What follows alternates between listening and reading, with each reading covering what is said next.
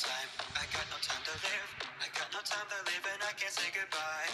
And I'm regretting having memories of my friends who they used to be beside me before they left me to die.